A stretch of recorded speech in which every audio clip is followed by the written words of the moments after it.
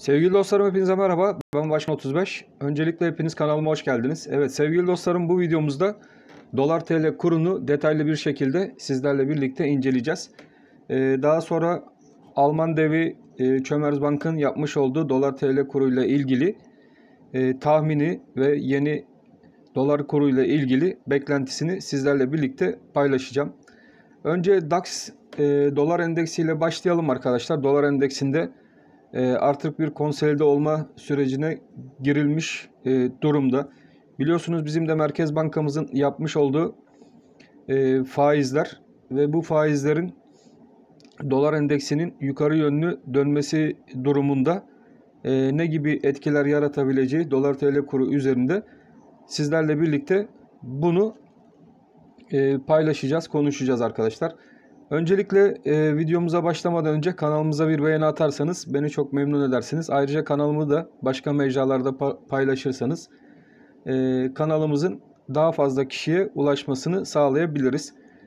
Evet arkadaşlar DAX'a baktığımız zaman burada bir e, DAX'ta konsolide olma sürecine girilmiş gözükmekte. Yani artık buralarda bir dip yapma çalışmasına dolar endeksinin girdiğini görüyoruz arkadaşlar. Bakın şurası şu süreç. Özellikle dolar endeksinde artık e, bir dip sürecine girildiğinin işareti. E, zaten dolar endeksine baktığınız zaman e, kırmızı en alttaki kırmızı çizginin altında bir kapanış dolar endeksinde gözükmüyor. Yani 88-50 civarının altında bir kapanış dolar endeksinde gelmemiş. E, dolar endeksi 2021 yılı itibariyle arkadaşlar artık buradan bu düşen trendini yukarı yönlü kırabilir. Bunun kırabilmesi için de e, fazla bir rakama da ihtiyacı yok arkadaşlar. Özellikle bakın şu alanda sıkışma her an yukarı yönlü gidebilir. Yuvarlak içerisinde göstereyim. Şu kırmızı çizdiğim yuvarlak içerisindeki alana dikkat edin. Bakın arkadaşlar şurada e, sıkışma şu şekilde yukarı yönlü patlarsa artık doların da globalde e, güçlenebileceğinin e, sinyali gelecek. Bunun içinde artık dolarda fazla bir vakit kaldığı düşüncesinde değilim arkadaşlar. Bu alan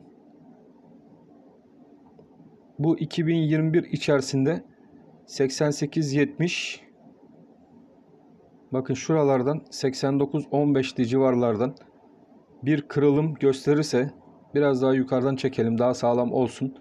Hatta 90-50 civarlarından e, bir yukarı yönlü kırılım gösterdiği vakit e, dolar endeksi arkadaşlar şurada gördüğünüz 94-95 seviyesine kadar e, yukarı yönlü bir atak başlatabilir. Bu da globalde dolar TL kurunda artık e, düşüşün bittiği ve yükseliş trendinin e, başlayabileceği yönünde bir sinyal bize göstermekte. O yüzden dolar TL kurunda özellikle duran arkadaşların çok dikkatli olması gerekmekte arkadaşlar. Hemen dolar TL kuruna da geçelim. Evet Çömers Bank'ın e, yapmış olduğu tahmine de değineceğim arkadaşlar. E, öncelikle bizlerin yapmış olduğu tahminler doğrultusunda e, sizlere bazı rakamlar vereceğim. Sizler de e, bir kağıt kalem alın. Bu verdiğim rakamları bir yere not alın arkadaşlar. Çünkü önemli rakamlar sizlerle birlikte paylaşacağım. Özellikle e, dolar TL kurunda e, dolar alayım mı diye sorular gelmekte. Özellikle bizim kanalımız hiçbir zaman bir al sat kanalı değil arkadaşlar. Bunu e, bilmenizi isterim. Biz kesinlikle bir al sat şeklinde yorum yapmıyoruz. Al-sat tavsiyelerini bağlı bulunduğunuz e, imzalı sözleşme karşılığında karşılıklı olarak gerçekleştirdiğiniz yatırım kuruluşlarından alabilirsiniz. Biz burada sadece kendi öngörülerimizi paylaşıyoruz. Şimdi kağıt kalem aldıysanız e, bir dolar tl kurunda bizim takip edeceğimiz e, yolu sizlerle birlikte burada belirleyelim. Dolar TL kurunda özellikle 7.30 seviyesinde bir kapanış geldi arkadaşlar. Özellikle şuradaki 7.30'u sizlerle birlikte bir belirleyelim. 7.30 bizler için artık 2021 yıl için arkadaşlar önemli bir destek seviyesi. Buradaki bizim takip edeceğimiz ilk kanal aralığımız 7.30 7.48 kanal aralığı. Şuradaki 7.48 kanal aralığımız olacak arkadaşlar. Evet görüyorsunuz şu kanal aralığı. İlk etapta 2021'in ilk başlangıç yılında takip edeceğimiz önemli bir kanal. 7.30 7.48 kanal aralığı olacak. Dolar TL kurunda 7.48 üzerinde. Bakın arkadaşlar şurada 7.48 üzerinde bir hareketlenme görebilirsek dolar TL kurunda tekrardan hareketlerin devamı için 7.48 üzerinde bir hareketlenme de görebilirsek dolar TL kurunda 7.80 seviyesine doğru şuradaki 7.80 kanalına doğru ikinci bir kanal yükseliş hareketi de görebiliriz. O yüzden bu iki kanal bizler için çok önemli kanal aralığı olacak. Özellikle 7.30 bölgesi e, dolar TL kurunda kırılmadığı müddetçe e, bizlerin yukarı yönlü takipte kalma, kalmamız gerekecek. E, 7.80 seviyesine doğru bir yukarı hareket beklentimiz mevcut arkadaşlar.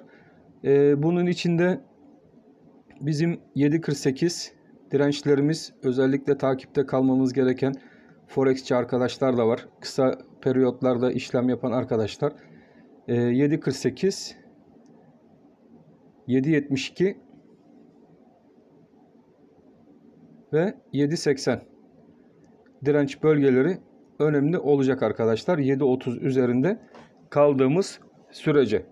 E, dolar TL borcu olan arkadaşlar için de e, bu seviyeler bakın e, 7.30 altına inilmedikçe buraya bir şartımızı koyacağız arkadaşlar. Özellikle 7.30 altına inilmedikçe e, buralardan ufak ufak toparlamalar, toplamalar yapılabilir. 7.30'lar şu an itibariyle 2021 yılı 7.44'lü seviyelerin kapanışıyla birlikte bu seviyeler artık bizler için %17, %18 enflasyon ortamında e, iyi seviyeler gibi gözükmekte. 7.30 seviyesi kırılmadığı müddetçe. E, şimdi kötü senaryomuzu da açıklayalım. Kötü senaryomuzda 7.30'un kırılması durumunda arkadaşlar. Bakın 7.30 kırılacak diye bir e, durum yok. Fakat herhangi ihtimale karşı 7.30 seviyesi aşağı yönlü kırılırsa aşağı yönlü her türlü e, beklentimiz 7.30'un kırılması durumunda. 7.30 kırılmadığı müddetçe beklentimiz yukarı yönlü dolar TL kurunda e, beklentimiz bu şekil. 7.30 aşağı yönlü kırılırsa işte o zaman e, 7.05 seviyesi dolar TL kurunda gündeme gelebilir. Fakat 7.30 kırılmadıkça e, 7.05 e, planımız devrede değil arkadaşlar. Sadece 7.30'un kırılmasıyla 7.05 planımız devrede olacak önemli bir plan. E, şimdi buraya kadar e, notlarınızı aldıysanız biraz daha orta vadeli dolar TL kuru e, beklenti rakamlarını gene belirleyelim sizlerle birlikte. Biraz daha orta bazlı dolar TL kuruna baktığımız zaman arkadaşlar e, bizler için gene 7.30 önemli bir destek. Şuradaki 7.30 seviyemiz hala bizim için önemli bir destek. Daha orta bazlı arkadaşlar için şuradaki 7.30 gene önemli bir destek bölgemiz. Burası kırılırsa gene 7.05 seviyesi takibinizde olacak. 7.30 üzerinde. Daha orta bazlı daha büyük kanal aralığında. Şuradaki 7.63 bakın şu 7.63 seviyesi. E, orta ve uzun bazlı düşünen arkadaşlar için ilk direnç bölgesi e, olarak gözükmekte. 7.63'ün daha orta bazlı haftalık kapanışlarda görülmesi durumunda. E, 7.63 ve onun üzerinde arkadaşlar oluşacak kanal aralığı da 8.22 kanal aralığı. Şuradaki 8.22 kanal aralığı şeklinde gözükmekte. 8.22 ee, üzerinde zaten tekrardan kapanışlar gelmeye başladığı zaman e, dolar TL kurunda tekrardan 8.60 seviyesi test etme yönünde e, dolar TL yukarı yönlü hareketlerini devam ettirebilir. Fakat bu kanal aralıkları 7.30 seviyesinin kırılmadığı durumlar için geçerli olacak kısa ve orta bazlı hareketleri bize getirecektir. E, Çömerzbank'ın yapmış olduğu Alman devinin yapmış olduğu e, dolar kuru tahmini de gene arkadaşlar e, biliyorsunuz e, bu seviyesini Çömerzbank revize etti. Çömerzbank'ın e, 9 TL beklentisi vardı 2021 yılı sonu için. Çömerzbank e, bu 2021 yılı tahminini arkadaşlar 2021 yılın ilk çeyreği için 7.50 dolar seviyesine çekti. Çömerzbank'ın e, beklentisi 2021 ilk çeyreği için dolar TL kurunda 7.50. 2021 yıl sonu içinde kademeli olarak dolar TL kurunun 8 TL'ler civarına doğru hareket edeceği yönünde beklentisini de e, kıdemli analistleri tarafından e, piyasaya sundular. Yani 9 TL'den beklentisini Çömerzbank'ta 8 TL civarlarına çekmiş oldu arkadaşlar. Bu da kanalımızın e, kapak sayfasında belirttiğimiz e, yazının açıklaması da bu şekilde. Bunlar geriye dönük özellikle beklentilerini de açıkladılar. Evet bugünkü dolar TL ile ilgili e, açıklamalarımız bundan ibaret. Ben de sizlerle birlikte bu kanalları zaten takipte kalacağım. Ben hepinizi çok seviyorum. Hepiniz Allah'a emanet olun. Hoşçakalın arkadaşlar.